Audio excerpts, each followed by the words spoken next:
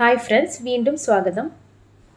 നമ്മൾ S C R T biology പത്താം ക്ലാസ്സിന്റെ ചാപ്റ്റർ വെച്ച് സ്റ്റാർട്ട് ചെയ്തതാണല്ലോ. അപ്പോൾ അതിനിടയ്ക്ക് എനിക്ക് റിക്വസ്റ്റ് വന്നിരുന്നു പ്ലസ് വൺ ഭാഗങ്ങൾ ചെയ്യാൻ പറ്റുമോ എന്നുള്ളത്.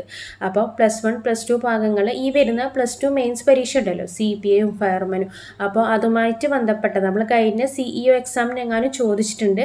അപ്പോൾ അതുമായി ബന്ധപ്പെട്ട കണക്റ്റിംഗ് ഫാക്സും റിലേറ്റഡ് ഫാക്സും വേണ്ടിയിട്ടാണ് ഇങ്ങനെ റിക്വസ്റ്റ് വന്നത്. അതുകൊണ്ട് പത്താം ക്ലാസ് ചാപ്റ്റർ നമുക്ക് പിന്നീട് ചെയ്യാം. അതിന് മുൻപേ ആയിട്ട് നമുക്ക് പ്ലസ് വണ്ണിലെ കുറച്ച് ഭാഗങ്ങൾ നോക്കാം. ഓക്കെ അപ്പോൾ ശ്വാസകോശത്തിലൊരു ക്വസ്റ്റ്യൻ ആയിരുന്നു. ഇപ്പോൾ സി ഇ എക്സാമിന് ചോദിച്ചത്. സി ഇ ആണോ ലീഗൽ മെട്രോളജി ആണോ എന്ന് ഞാൻ ഓർക്കുന്നില്ല. അപ്പോൾ അങ്ങനെയുള്ള പ്ലസ് ടു മീൻ എക്സാമിന് ചോദിച്ചത് ശ്വാസകോശവുമായി ബന്ധപ്പെട്ട ചാപ്റ്ററാണ് ഇന്ന് നമ്മൾ നോക്കുന്നത് അതുപോലെ തന്നെ നമ്മളെ പ്ലസ് വൺ ഭാഗത്ത് വരുന്ന ശരീരദ്രവങ്ങളും അവയുടെ പര്യനം എന്നുള്ള ചാപ്റ്ററാണ് ശരീരദ്രവങ്ങളും അവയുടെ പര്യനവും അതായത് ബോഡി ഫ്ലൂയിഡ്സ് ആൻഡ് സർക്കുലേഷൻ അപ്പോൾ ഇതിൽ പറഞ്ഞിട്ടുള്ളത് നമ്മുടെ ശരീരത്തിൽ കോശങ്ങളുണ്ട്. അപ്പോൾ ആ കോശത്തിനകത്തേക്കും കോശത്തിന് പുറത്തേക്കുമുള്ള പദാർത്ഥങ്ങളുടെ സഞ്ചാരം എളുപ്പമാക്കാൻ വേണ്ടി നമ്മുടെ ബോഡിയിലുള്ള സംവിധാനമാണ് ഏത്? ഫ്ലൂയിഡ്സ് ദ്രാവകങ്ങളെ നമ്മുടെ ബോഡിയിലുള്ള ദ്രാവകങ്ങളാണ് അതിന് സഹായിക്കുന്നത്. അതായത് ബ്ലഡ് ലിംഫൊക്കെ പോലുള്ള ദ്രാവകങ്ങളാണ് ഈ പദാർത്ഥ സംവഹനത്തിന് സഹായിക്കുന്നത്. ആദ്യം നമ്മളെ രക്തത്തെ കുറിച്ചിട്ടാണ് നോക്കുന്നത്. അപ്പോൾ രക്തം എന്ന് പറയുന്നത് ദ്രവമെട്രിക്സ് ആയിട്ടുള്ള പ്ലാസ്മയും രക്തകോശങ്ങളും അടങ്ങിയിട്ടുള്ള ഒരു പ്രത്യേകതര യോജക കലയാണ് രക്തം. ഓക്കെ അത് ഓർമ്മിക്കണം. യോജക കലയാണ് യോജക കല എന്ന് പറയുമ്പം കണക്റ്റിംഗ് ടിഷ്യൂ കാരണം നമ്മൾ ശരീരത്തിലെ എല്ലാ ഭാഗങ്ങളും കണക്ട് ചെയ്യുന്ന ഒരു സംഭവമാണല്ലോ രക്തം. അപ്പോൾ രക്തം എന്ന് പറയുന്നത് യോജക കലയാണ് നമ്മൾ പലതരത്തിലുള്ള കലകൾ പഠിച്ചിട്ടുണ്ട്. പേശി കല നാടികല എന്നൊക്കെ പറഞ്ഞിട്ട് പഠിച്ചിട്ടില്ലേ? അപ്പോൾ അതിൽ രക്തം എന്ന് പറയുന്നത് ഒരു പ്രത്യേകതരം യോജക കലയാണ് നമ്മളെ ശരീരത്തിൽ മൊത്തം കണക്ട് ചെയ്യുന്നത് കൊണ്ടാണ് കണക്ട് കണക്റ്റീവ് ടിഷ്യൂ അല്ലെങ്കിൽ യോജക അല്ലാന്ന് രക്തം അറിയപ്പെടുന്നത്. ഈ രക്തത്തിന്റെ ഘടകങ്ങൾ നോക്കി രക്തം എന്ന് പറയുന്നത് പ്രധാനമായിട്ടും പ്ലാസ്മയും രക്തകോശങ്ങളുമാണ്. രക്തത്തിലെ പ്രധാനപ്പെട്ട രണ്ട് ഘടകങ്ങളാണ് പ്ലാസ്മ അൻപത്തി അഞ്ച് ശതമാനമാണ് രക്തത്തിലെ പ്ലാസ്മ അതുപോലെ തന്നെ നാൽപ്പത്തി അഞ്ച് ശതമാനമാണ് രക്തകോശങ്ങൾ. അങ്ങനെയാണ് രക്തമാവുന്നത്. പ്ലാസ്മയും രക്തകോശങ്ങളും ചേർന്നിട്ട്. ഇനി നമ്മൾ ഈ പ്ലാസ്മ മാത്രം എടുത്ത് നോക്കി രക്തകോശങ്ങൾ അവിടെ വെച്ചു. പ്ലാസ്മ മാത്രം എടുത്ത് നോക്കിക്കഴിഞ്ഞാൽ പ്ലാസ്മയിൽ ജലത്തിന്റെ ശതമാനം തൊണ്ണൂറ് മുതൽ തൊണ്ണൂറ്റി രണ്ട് ശതമാനം വരെയാണ് ആണ് പ്ലാസ്മയിലെ ജലം. അതുപോലെ തന്നെ ബാക്കി വരുന്ന ഭാഗമോ ആറ് മുതൽ എട്ട് ശതമാനം വരുന്നത് പ്ലാസ്മ പ്രോട്ടീൻസ് അല്ലെങ്കിൽ മാംസ്യമാണ് ഓക്കെ അപ്പോൾ നമ്മൾ പറഞ്ഞ രക്തം എന്ന് പറയുന്നത് പ്ലാസ്മയും രക്തകോശങ്ങളും അടങ്ങിയതാണ്. ഇനി പ്ലാസ്മയുടെ കോൺസ്റ്റിറ്റ്യൻസ് നോക്കുകയാണെങ്കിൽ തൊണ്ണൂറ് മുതൽ തൊണ്ണൂറ്റി രണ്ട് ശതമാനം വരെ ജലവും ആറ് മുതൽ എട്ട് ശതമാനം വരെ മാംസ്യമാണ് ഇനി പ്ലാസ്മയിൽ അടങ്ങിയിരിക്കുന്ന മാംസ്യങ്ങളുടെ ഏതൊക്കെയാണ് നോക്കാം? Fibrinogen albumin globulin. Fibrinogen albumin ഗ്ലോബുലിനാണ് നമ്മളെ രക്തത്തിൽ അടങ്ങിയിരിക്കുന്ന പ്രധാനപ്പെട്ട മാംസ്യങ്ങൾ. ഓക്കെ അപ്പോൾ ഇതിൽ തന്നെയാണ് പറഞ്ഞിരിക്കുന്നത്. രക്തത്തിന്റെ അൻപത്തിയഞ്ച് ശതമാനം പ്ലാസ്മ ദ്രവമാണ്. അപ്പോൾ ഈ പ്ലാസ്മ എന്ന് പറയുന്നത് ഇളം മഞ്ഞ നിറത്തിലുള്ള സാന്ദ്രത കൂടിയൊരു ദ്രവമാണ്. ഇളം മഞ്ഞ നിറമാണ് സാന്ദ്രത കൂടിയ ദ്രവമാണ് പ്ലാസ്മ പിന്നെ പ്ലാസ്മയിലുള്ള പ്രോട്ടീൻസ് എന്ന് പറയുന്നത് ഫൈബ്രിനോജൻ ഫൈബ്രിനോജൻ എന്ന് പറയുന്നത് അത് നമ്മുടെ രക്തത്തിന്റെ കട്ട പിടിക്കാനൊക്കെ സഹായിക്കുന്ന ഒരു പ്രോട്ടീനാണ് ഫൈബ്രിനോജൻ പിന്നെയുള്ള ആൽബുമിൻ എന്ന് പറയുന്നത് രക്തസമ്മർദ്ദം നിയന്ത്രിക്കാനൊക്കെ പങ്കുവഹിക്കുന്ന പ്രോട്ടീനാണ് ആൽബുമിൻ പിന്നെയുള്ളത് ഗ്ലോബലിനാണ് ഗ്ലോബുലിൻ എന്ന് പറയുന്നത് നമ്മൾ I G A I G M എന്നൊക്കെ പറഞ്ഞിട്ട് കുറേ ഗ്ലോബലിൻസ് ഇമ്മ്യൂണോ ഗ്ലോബലിൻസ് പഠിച്ചിട്ടില്ല. അത് തന്നെയാണ് ഈ ഗ്ലോബലിൻ നമ്മളെ രോഗ പ്രതിരോധ ശേഷിക്ക് സഹായിക്കുന്നത്. രോഗ പ്രതിരോധ ശേഷിക്ക് സഹായിക്കുന്ന മാംസ്യമാണ് ഗ്ലോബലിൻ പിന്നെ പ്ലാസ്മയിൽ ചെറിയ അളവിൽ sodium calcium magnesium sodium calcium magnesium അതുപോലെ തന്നെ ബൈകാർബണേറ്റ് ക്ലോറിൻ ഇങ്ങനെയുള്ള അയേൺസും ഉണ്ടാവും കേട്ടോ. അതുപോലെ തന്നെ ഗ്ലൂക്കോസ് അമിനോ ആസിഡ് കൊഴുപ്പ് ഇതൊക്കെ ചെറിയ എമൗണ്ടിൽ പ്ലാസ്മയിൽ കാണാൻ പറ്റും.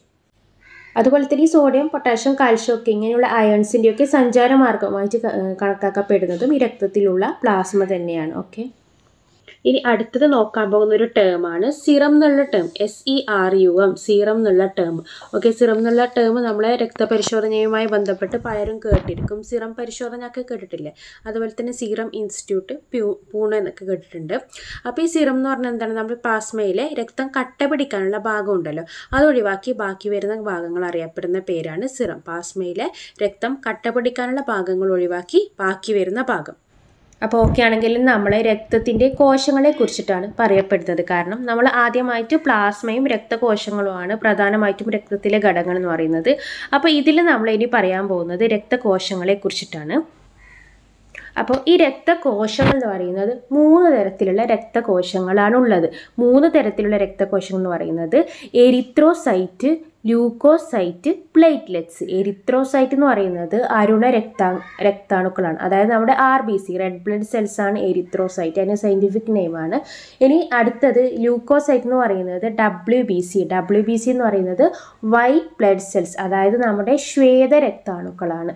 ഓക്കെ ഇനി മൂന്നാമത് വരുന്നത് നമ്മുടെ പ്ലേറ്റ്ലെറ്റ്സ് ആണ്. അപ്പോൾ ഈ മൂന്ന് ഘടകങ്ങളാണ് പ്രധാനമായിട്ടും രക്തകോശങ്ങൾ എന്ന് പറയുന്നത്. അപ്പോൾ ഈ മൂന്ന് രക്തകോശങ്ങളെയും ഒരുമിച്ച് പറയപ്പെടുന്ന പേരാണ് ഫോംഡ് എലമെൻസ് എന്നുള്ളത്. ഓക്കെ ഫോംഡ് എലമെൻസിനെയാണ് ഈ മൂന്ന് രക്തകോശങ്ങളെയും ഒരുമിച്ച് പറയപ്പെടുന്ന പേര്. അപ്പോൾ ആദ്യം അരുണ രക്താണുക്കൾ അല്ലെങ്കിൽ ആർ ബി സി എടുത്തു നോക്കിക്കഴിഞ്ഞാൽ നമ്മൾ ഒരു ഘന മില്ലിമീറ്റർ രക്തത്തിൽ ആർ ബി സിയുടെ എണ്ണമാണ് അഞ്ച് മുതൽ അഞ്ച് പോയിന്റ് അഞ്ച് ദശലക്ഷം വരെ. ഓക്കെ അഞ്ച് മുതൽ അഞ്ച് പോയിന്റ് അഞ്ച് ദശലക്ഷമാണ് ഒരു ഘന മില്ലിമീറ്റർ രക്തത്തിലുള്ള ആർ ബി സിയുടെ അളവെന്ന് പറയുന്നത്. അപ്പോൾ ഒരുപാടുണ്ട് ആർ ബി സി ഇനി ശ്വേതരക്താണുക്കൾ അല്ലെങ്കിൽ ഡബ്ല്യു ബി സി എടുത്ത് നോക്കിക്കഴിഞ്ഞാൽ ഘനമില്ലിമീറ്റർ രക്തത്തിൽ ഒരു ഘനമില്ലിമീറ്റർ രക്തത്തിലുള്ള ശ്വേതരക്താണുക്കളുടെ അളവാണ് ആറായിരം മുതൽ എട്ടായിരം വരെ ഓക്കെ ആറായിരം മുതൽ എട്ടായിരമാണ് അതിന്റെ എണ്ണം. അതുപോലെ നമ്മൾ പ്ലേറ്റ്ലെറ്റ്സിന്റെ എണ്ണം നോക്കിക്കഴിഞ്ഞാൽ ഒരു ലക്ഷത്തി അൻപതിനായിരം മുതൽ രണ്ട് ലക്ഷത്തി അൻപതിനായിരം വരെയാണ് പ്ലേറ്റ്ലെറ്റ്സിന്റെ എണ്ണം എന്ന് പറയുന്നത്. അപ്പോൾ നമ്മൾ ഒന്നുകൂടി അരുണ രക്താണുക്കളുടെ സ്പെഷ്യാലിറ്റിയിലേക്ക് പോവുകയാണ്. എണ്ണം നമ്മൾ പറഞ്ഞിട്ടുണ്ടായിരുന്നു. അതുപോലെ തന്നെ ഈ അരുണ രക്താണുക്കൾ നമ്മൾ ഓർമ്മിക്കേണ്ട കാര്യം പൂർണ വളർച്ചയെത്തിയ അരുണ അരുണ രക്താണുക്കളിൽ മർമ്മം ഉണ്ടായിരിക്കുന്നതല്ല. മർമ്മം എന്ന് പറയുന്നത് ന്യൂക്ലിയസ് ആണ്. അല്ലെ? ഒരു സെല്ലിന്റെ നടുക്കുള്ള ഒരു സംഭവമാണ് ന്യൂക്ലിയസ് അല്ലെങ്കിൽ മർമ്മം. അപ്പോൾ പൂർണ വളർച്ചയെത്തിയ അരുണ രക്താണുക്കളിൽ എന്തുണ്ടാവില്ല? ന്യൂക്ലിയസ് ഉണ്ടാവില്ല.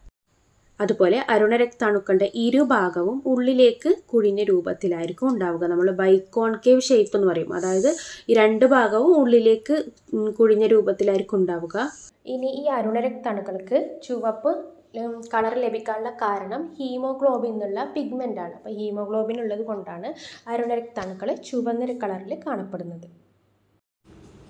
ഹീമോഗ്ലോബിൻ എന്ന് പറയുന്നത് ഒരു ഒരു പ്രത്യേകതരം പ്രോട്ടീനാണ് കേട്ടോ. ഒരു പ്രത്യേകതരം ആംസ്യമാണ് ഹീമോഗ്ലോബിൻ അതുപോലെ തന്നെ ഹീമോഗ്ലോബിൻ എന്ന് പറയുന്നത് നമ്മൾ ഓക്സിജൻ സംഭവിക്കാനുള്ള കഴിവുണ്ട് ഹീമോഗ്ലോബിൻ പിഗ്മെന്റിന് പിന്നെ ഇത് നമ്മൾ സ്ത്രീകളിലും അതുപോലെ തന്നെ പുരുഷന്മാരിലും എടുത്തു നോക്കിക്കഴിഞ്ഞാൽ ഇതിന്റെ അളവ് വ്യത്യാസപ്പെടുന്നുണ്ട്. അപ്പം ഇതിൽ സ്ത്രീകൾക്ക് പുരുഷന്മാരെക്കാളും കുറച്ച് കുറവായിരിക്കും ഹീമോഗ്ലോബിൻ അളവ്. പുരുഷന്മാരിൽ നമ്മൾ നോക്കുകയാണെങ്കിൽ ഒരു പതിനാല് പതിനേഴ് ആയിരിക്കും നോർമൽ ഹീമോഗ്ലോബിന്റെ റേഞ്ച് എന്ന് പറയുന്നത്. ഓക്കെ ഒരു നൂറ് മില്ലിമീറ്റർ രക്തം എടുത്ത് നോക്കിക്കഴിഞ്ഞാൽ പതിനാല് മുതൽ പതിനേഴ് ഗ്രാം വരെയാണ് പുരുഷന്മാരിലും. അതുപോലെ സ്ത്രീകളിലാണെങ്കിൽ പന്ത്രണ്ട് മുതൽ പതിനഞ്ച് ഗ്രാം വരെയാണ് നോർമൽ നോർമലായിട്ടുള്ളൊരു ഹീമോഗ്ലോബിന്റെ അളവ്. അപ്പോൾ ഇതിൽ കോമൺ ആയിട്ട് ആരോഗ്യമുള്ള ഒരു വ്യക്തിയിൽ പന്ത്രണ്ട് മുതൽ പതിനാറ് വരെ ഹീമോഗ്ലോബിൻ ഉണ്ടായിരിക്കും. അപ്പോൾ ഇതിൽ ടെക്സ്റ്റ് ബുക്കിൽ കൊടുത്ത പന്ത്രണ്ട് മുതൽ പതിനാറ് വരെ എന്നുള്ള റേഞ്ച് ഓർത്തുക ഇനി ശ്വേതരക്താണുക്കളുടെ സ്പെഷ്യാലിറ്റി നോക്കാം. നമ്മൾ ശ്വേതരക്താണുക്കൾ വെളുത്ത രക്തകോശങ്ങൾ എന്നാണല്ലോ ഇതിന്റെ വേറൊരു പേര്.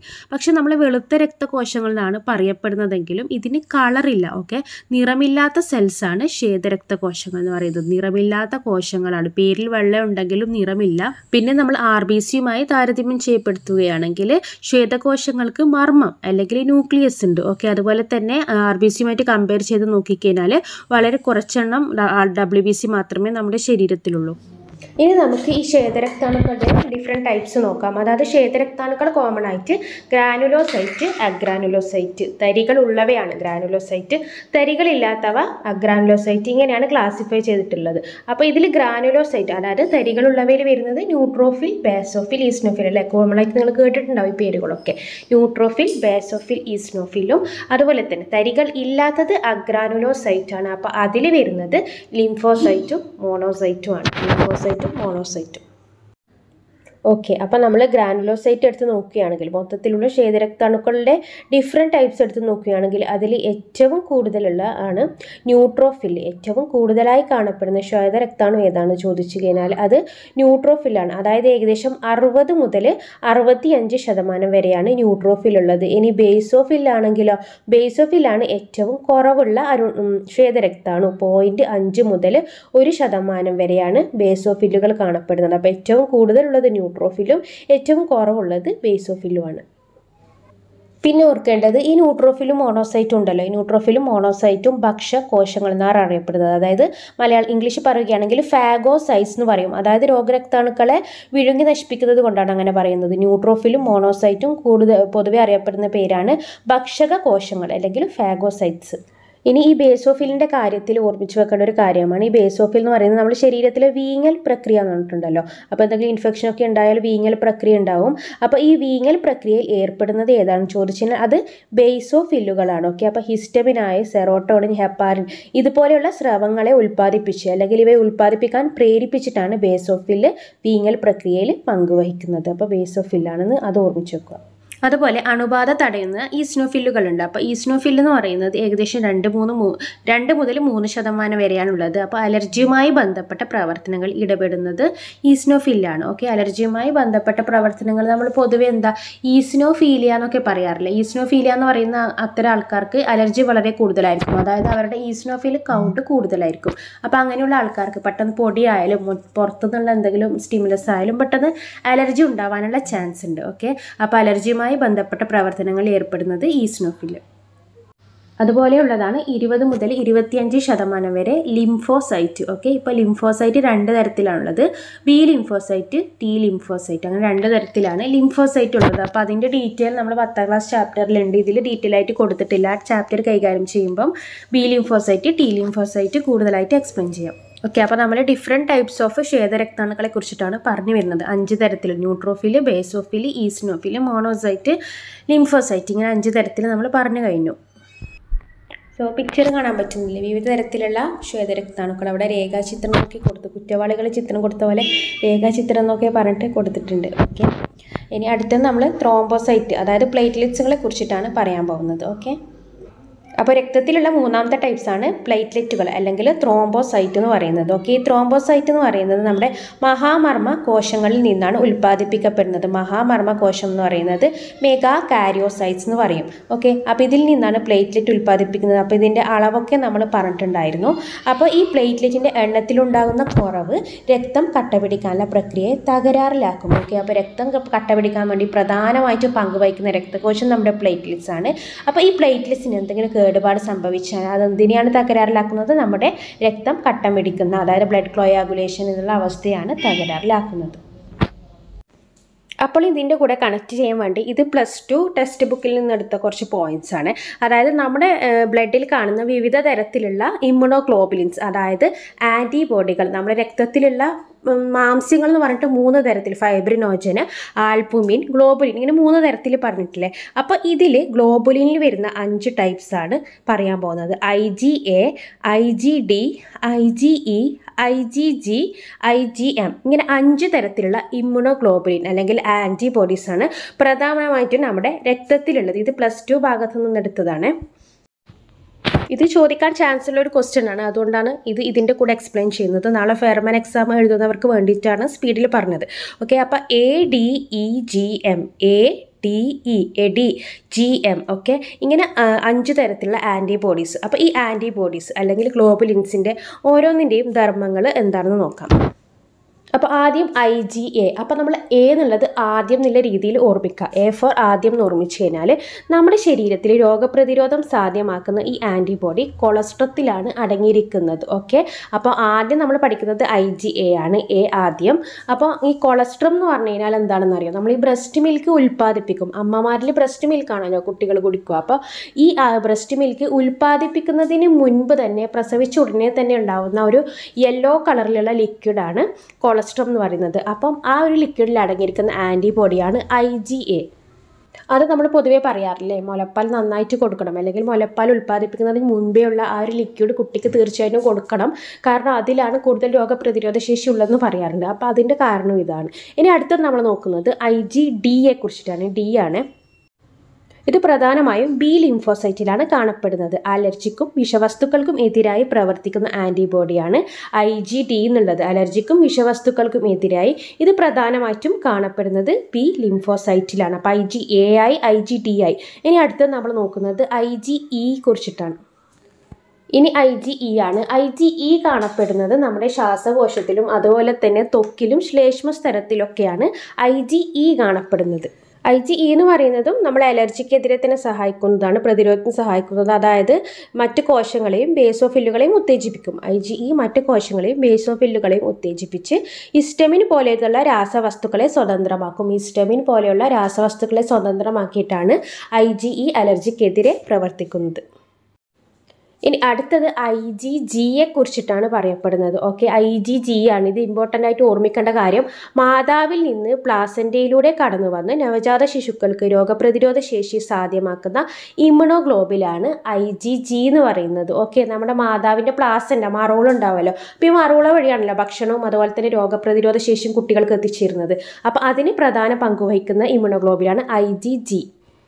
ഇനി മൊത്തത്തിലുള്ള ഇമ്മ്യൂണോഗ്ലോബിൽ എടുത്തു നോക്കിക്കഴിഞ്ഞാൽ എഴുപത്തിയഞ്ച് ശതമാനവും ഐ ജി ജി ആണ്. ഒരുപാടില്ല. അപ്പോൾ ഗ്രാൻഡ് എന്നുള്ള രീതിയിൽ ജി ഗ്രാൻഡ് എന്നുള്ള രീതിയിൽ ഓർമ്മിച്ചാൽ മതി.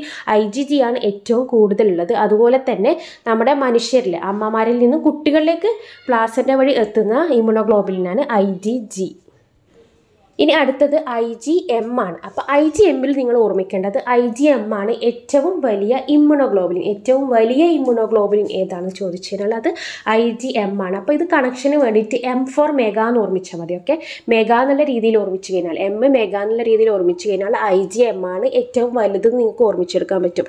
അതുപോലെ തന്നെ ഈ രോഗബാധ ഉണ്ടാകുന്ന സ്ഥലത്ത് ആദ്യമായിട്ട് എത്തുന്ന ഓക്കെ രോഗബാധ ഉണ്ടാകുന്ന സ്ഥലത്ത് ആദ്യം എത്തുന്ന ഇമ്മ്യൂണോഗ്ലോബുലിൻ ഏതാണെന്ന് ചോദിച്ചു കഴിഞ്ഞാൽ അത് ഐ ജി എം ആണ്. അതായത് വലിയ ആൾ തന്നെയാണ് ആദ്യം എത്തുന്നത് ഓർമ്മിച്ചാൽ മതി. ഓക്കെ സോ രോഗബാധ ഉണ്ടായ സ്ഥലത്ത് ആദ്യമായിട്ട് എത്തി ഈ ബി ലിംഫോസൈറ്റുകളെ ഉത്തേജിപ്പിച്ച് രോഗപ്രതിരോധ ശേഷിക്ക് സഹായിക്കുന്ന ഇമ്മ്യൂണോഗ്ലോബുലിനാണ് ഐ ജി എം അപ്പോൾ ഈ അഞ്ച് തരത്തിലുള്ള ഇമ്മ്യൂണോഗ്ലോബുലിൻ പ്ലസ് ടു ഭാഗത്ത് വരുന്നതാണ്.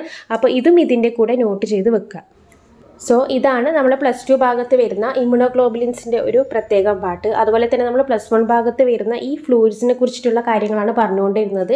ഇനി ഇതിൽ നമ്മൾ രക്തഗ്രൂപ്പ് നിർണയത്തെക്കുറിച്ചൊക്കെ പഠിക്കാറുണ്ട് അതൊക്കെ നമുക്ക് ദീപായിട്ട് വേറൊരു പാട്ടിൽ അപ്ലോഡ് ചെയ്യാം. ഓക്കെ പിന്നെ ഇതിനെക്കുറിച്ചിട്ടുള്ള പോൾസും കാര്യങ്ങളും നമ്മുടെ ചാനലിൽ ഇടുന്നുണ്ട്. നമുക്ക് രണ്ട് ചാനൽ അതായത് സി എക്ക് വേണ്ടിയിട്ടുള്ള ഒരു ചാനലുണ്ട് അതുപോലെ സയൻസിന് വേണ്ടിയിട്ടുള്ള ചാനലുണ്ട് അപ്പോൾ ചാനലിന്റെ ലിങ്ക് ഡിസ്ക്രിപ്ഷൻ ബോക്സിലിടാം പിന്നെ വീഡിയോ ഇഷ്ടമാണെങ്കിൽ നിങ്ങളെ ലൈക്ക് ചെയ്യാൻ മറക്കരുത്. ഓക്കെ എല്ലാവരുടെയും സപ്പോർട്ട് വേണം. Thank you